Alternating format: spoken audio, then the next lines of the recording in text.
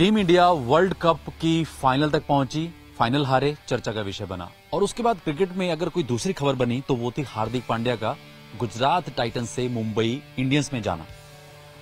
अब तस्वीर साफ़ है क्योंकि थोड़ी ही दिनों में आईपीएल भी शुरू होने वाला है। उससे पहले टीम इंडिया साउथ अफ्रीका के दौरे पर भी जाएगी। टी ट्वेंटी सीरीज़ अभी सूर्य कुमार यादव कप्तानी कर रहे हैं, टीम जीत भी रही है। लेकिन चर्चा बहुत हुई हार्दिक पांड्या की। हमारे साथ गुजरात टाइटंस टीम के सीईओ कर्नल अरविंदर सिंह मौजूद हैं। जो हैं पंजाब के। पंजाब की टीम ही संभाली थी। फ़िलहाल गुजरात टाइटंस को देख रहे हैं। कर्नल साहब, वर्ल्ड कप की फाइनल की हार चर्चा का विषय बनी। फाइनल तक बहुत अच्छा खेले, है ना? क्रिकेट सीज़न एक तरह से आया। उसके बाद हार्दिक पांड्या का गुजरात से बॉम्बे जाना। ये मुझे लगता है पूरी न्यूज़ छाई रही जब तक वो ट्रेडिंग नहीं हुई। जी, बिल्कुल। सबसे पहले तो थैंक यू उमेश। आपसे बात करना ज़रूरी होता है हर सीज़न के पहले और बाद में। वर्ल्ड कप में इंडिया की जीत होनी चाहिए थी। आई थिंक बैड लक रही लास्ट गेम में इतने अच्छा खेलने के बावजूद फाइनल में जाके हमारे बट फिर भी टीम ने बहुत अच्छा किया। हाँ ये खबर आपकी बिल्कुल सही है। हार्दिक पांड्या जो ट्रेड हुए हैं हमारे से मुंबई इंडियंस के लिए बहुत बड़ी खबर बनी। और अ, हमारी शुभकामनाएँ हमेशा हार्दिक के साथ रहेंगी हार्दिक ने एक डिज़ायर एक्सप्रेस किया था वो वापस जाना चाहते थे मुंबई इंडियंस में।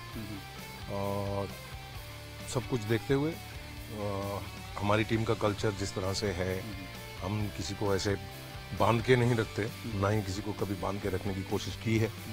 हम चाहते हैं हमारे प्लेयर्स खुश रहें चाहे वो हमारे पास रहें चाहे कहीं और। तो हार्दिक यस वो मुंबई अपने पुरानी टीम में गए हैं और हमारी शुभकामनाएँ उनके साथ हैं। गुजरात टाइटंस की टीम कोई ज़्यादा पुरानी नहीं है। नई नवेली टीम चैंपियन बनी फाइनल आप हारे और हार्दिक पांडे की कप्तानी में। और ऐसा बड़ा खिलाड़ी टीम का कप्तान जब जा रहा हो तो एक कहीं ना कहीं एक पारिवारिक माहौल होता है ना कि एक घर का कोई मेंबर दूसरी जगह शिफ्ट हो रहा हो। वो था टीम में माहौल और कहीं ना कहीं थोड़ा सा लगता है कि ठीक है डिज़ायर की है लेकिन एक अंदर से तो होता है ना।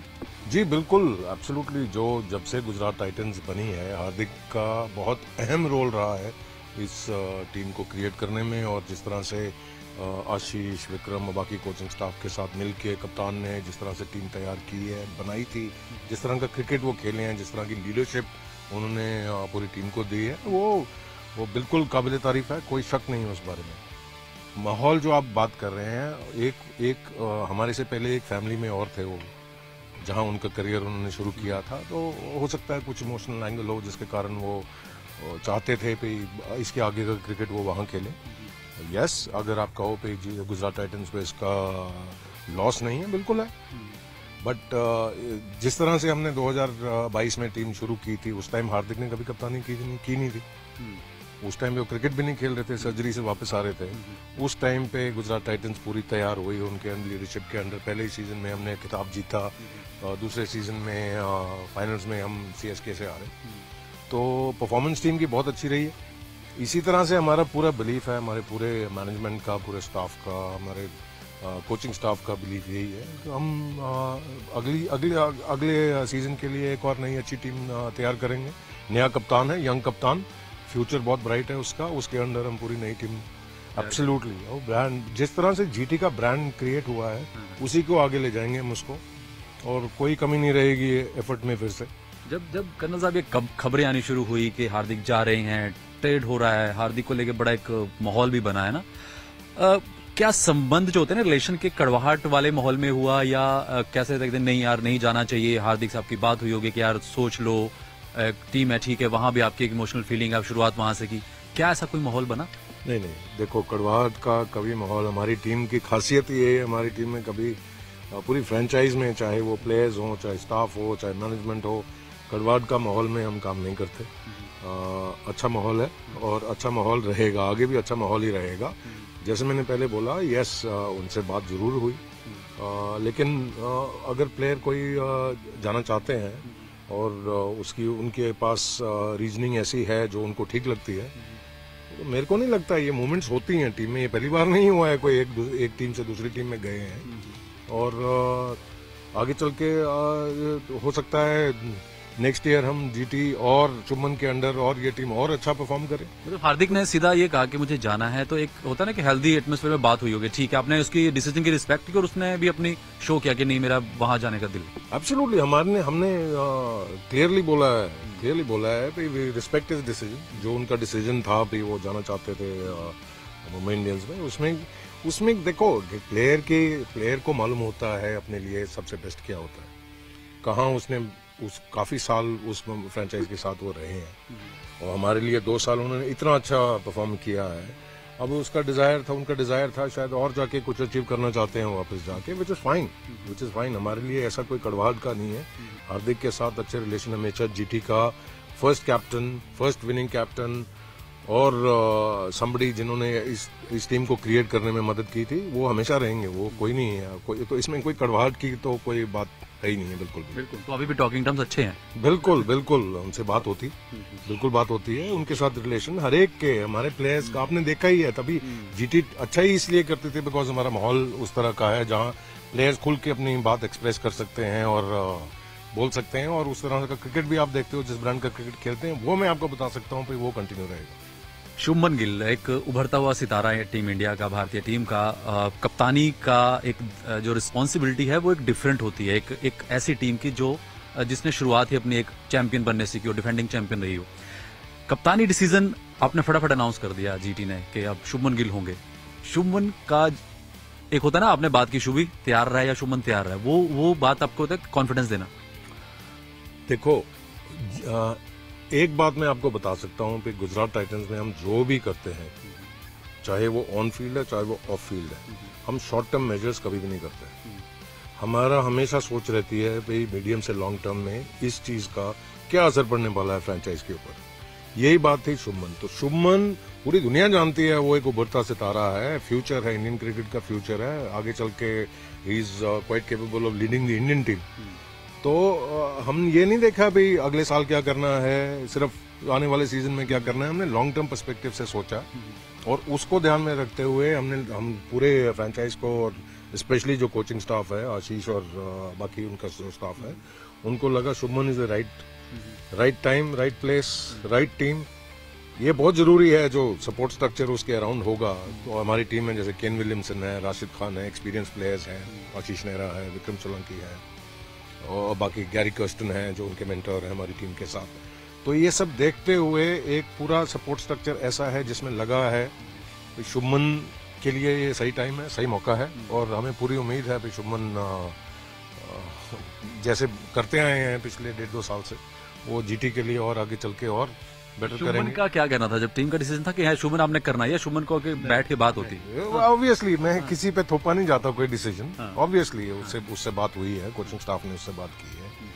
और सबने उनसे बात की है and he is very happy उनके लिए एक अच्छी अपॉर्चुनिटी है to showcase next level of leadership देखिए being an integral member of the team और ये आई एम श्योर हर एक टीम में ऐसे होता होगा। कुछ प्लेयर्स ऐसे होते हैं जो मालूम है कि इस प्लेयर ने सारे मैचेस खेलने हैं।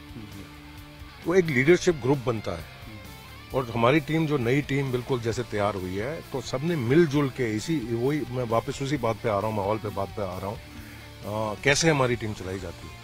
उसको देखते हुए शुभमन पिछले दो साल से ही उस लीडरशिप ग्रुप का एक हिस्सा अहम हिस्सा रहे हैं बिकॉज़ उन्होंने हर मैच खेलना है। हम्म। और जिस तरह की वो परफॉर्मेंस दे रहे थे जिस तरह का वो गेम को रीड करते हैं। तो एक तरह की आप मान सकते हो इस बात को भी ग्रूमिंग हो रही है। हो रही है और अब उसको अलग लेवल पे लेके जाना है और आई एम श्योर वो डिलीवर करेंगे। शुभमन का क्या कहना था जब ये इतनी रिस्पॉन्सिबिलिटी नहीं Shubman was happy Shubman of course is happy और वो यही कॉन्फिडेंस दर्शाता है किसी भी प्लेयर का। उसको पहले ये नहीं उसको लगा पे यू नो सडनली मेरे ऊपर ज़्यादा responsibility he is ready and he is raring to go जैसे बोलते हैं। करेंगे डिलीवर साहब, आपका एक्सपीरियंस लंबा है आईपीएल में, चाहे किंग्स इलेवन की बात हो या दूसरी टीमों की बात हो टी टेन लीग है ना, ये एक आपको प्लेयर्स के एक नब्स का पता है। आईपीएल एक डिफरेंट एक सिनेरियो क्रिकेट का, एक देश के लिए खेलना डिफरेंट सिनेरियो है। अब एक होता ना, आपने शुभन को कहा कि वो ग्रूमिंग पार्ट जब चल रहा था, वो हिस्सा रहा है। कई बार हमने इंडियन क्रिकेट में देखा है कि एक बहुत बड़ा अच्छा बैट्समैन कप्तानी का दबाव झेल नहीं पाता सचिन का एग्ज़ाम्पल है और भी कई एग्ज़ाम्पल है, लेकिन या कई बार वो दबाव निखर आता है। तो क्या लगता है कि फ्रेंचाइजी के मन में ये भी था कि बहुत अच्छा बैट्समैन है? अभी देखते हैं कि कप्तानी का क्या रहता है और किस तरह से कप्तानी होती है। देखो फिर मैं वही बात दोहराऊँगा गुजरात टाइटंस में कोई इम्पल्सिव डिसीज़न नहीं लिया लिया जाता। जो भी डिसीज़न लिए जाते हैं वो सोच समझ के लंबे पर्सपेक्टिव से लिए जाते हैं। और इन्हीं सब चीज़ों को इजीएस्ट था कोई एक्सपीरियंस प्लेयर को एक साल के लिए कैप्टन बनाओ इसको उसके साथ करो। वो कर चुका है ये पिछले दो सीज़न में वो कर चुका है। आप उसका पिछले दो सौ सीज़न का ग्रोथ देखिए और फिर इंटरनेशनल क्रिकेट में जिस तरह से वो परफॉर्म कर रहा है, वो देखिए, वो वो उसका एक क्रिकेटिंग स्किल की बात कर रहे हैं। But as a person as a individual as a leader हमने उसको क्लोजली देखा है गुजरात टाइटन में पिछले दो साल में बिकॉज़ वो इन्वॉल्व रहा है इसमें। तो ये नहीं है सिर्फ़ वो अच्छा बैट्समैन है, इसलिए उसको कप्तान बना दिया, गया है। हमारे कोचिंग स्टाफ ने सोच समझ के ये देखा है, उसमें वो लीडरशिप क्वालिटीज हैं, वो स्किल सेट्स है।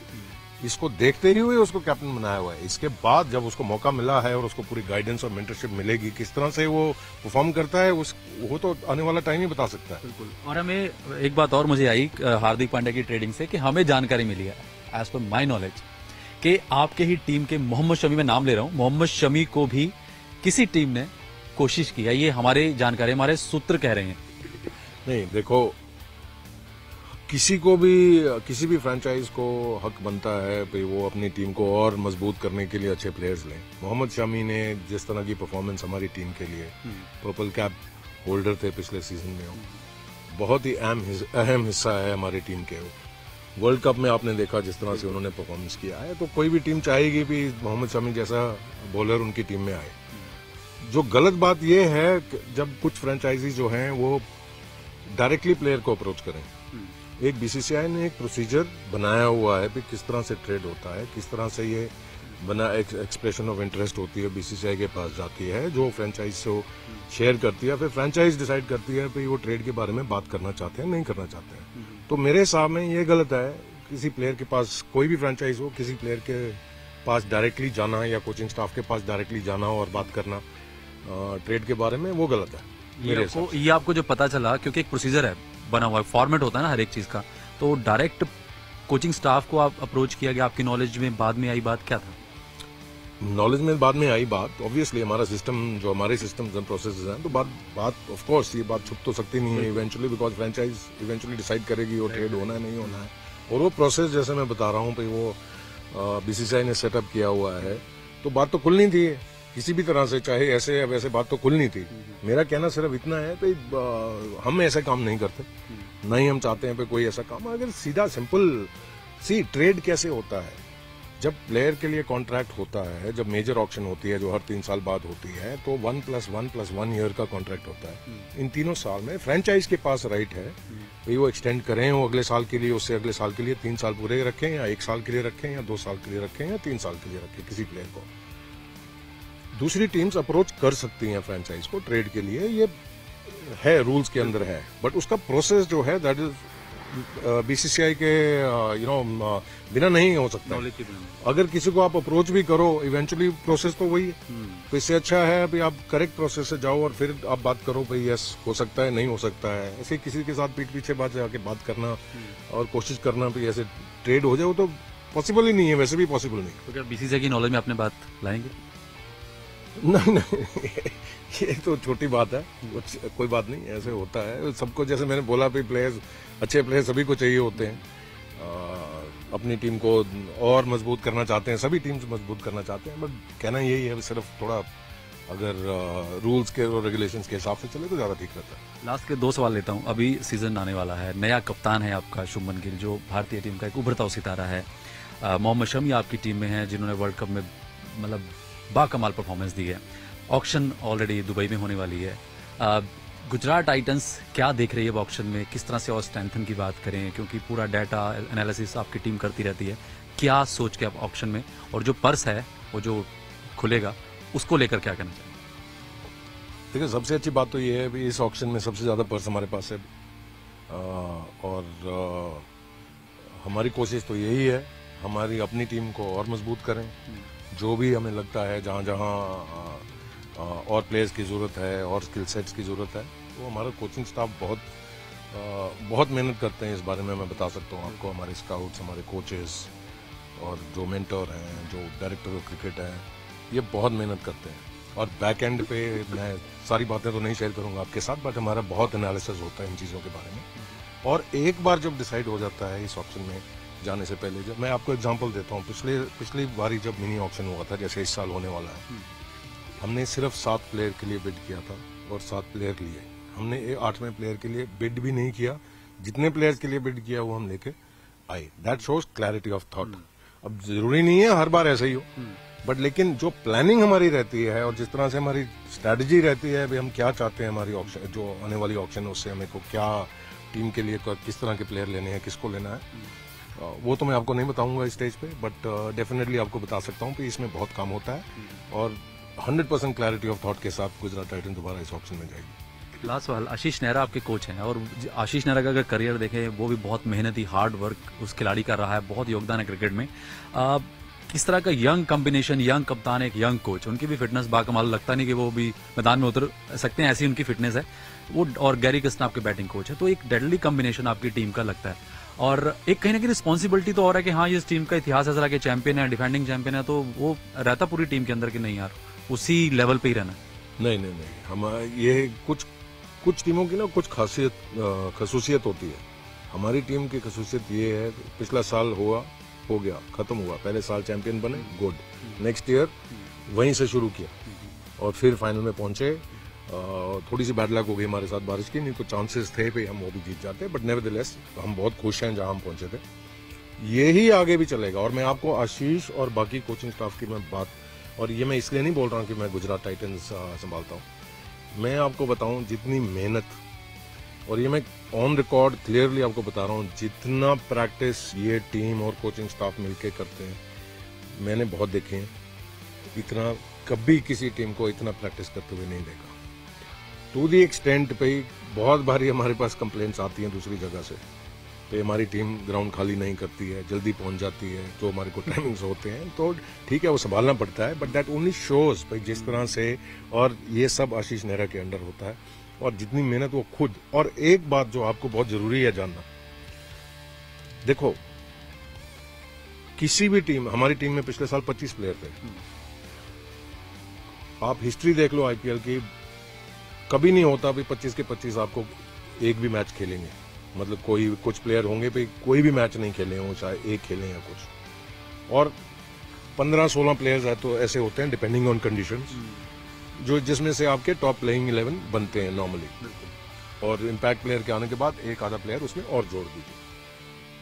आशीष नेहरा और उसका स्टाफ जो प्लेयर्स हैं जो जो जिनको चांसेस कम हैं खेलने के लिए उनके ऊपर वो ज़्यादा टाइम लगाते हैं। वो इंश्योर करते हैं भाई उनको कभी ना ये लगे भाई मेरे साथ इतना टाइम नहीं लगाया जा रहा बिकॉज़ मैं अभी उस लेवल पे नहीं हूँ जो मैं कंसिड्रेशन में आऊँ कि मैं प्लेइंग इलेवन में आ जाऊँ। हो सकता है अनलेस कुछ चेंज हो। ये बहुत बड़ी बात है किसी भी टीम के लिए। जितना टाइम ये हमारा कोचिंग स्टाफ इन प्लेयर्स पे लगाता है यंग प्लेयर्स पे अपकमिंग प्लेयर्स पे, जो जो अभी पॉसिबली प्लेइंग इलेवन में नहीं आ सकते, लेकिन पूरा सीज़न हमारे साथ रह के एक एग्जांपल मैं आपको देता हूँ। मोहित शर्मा।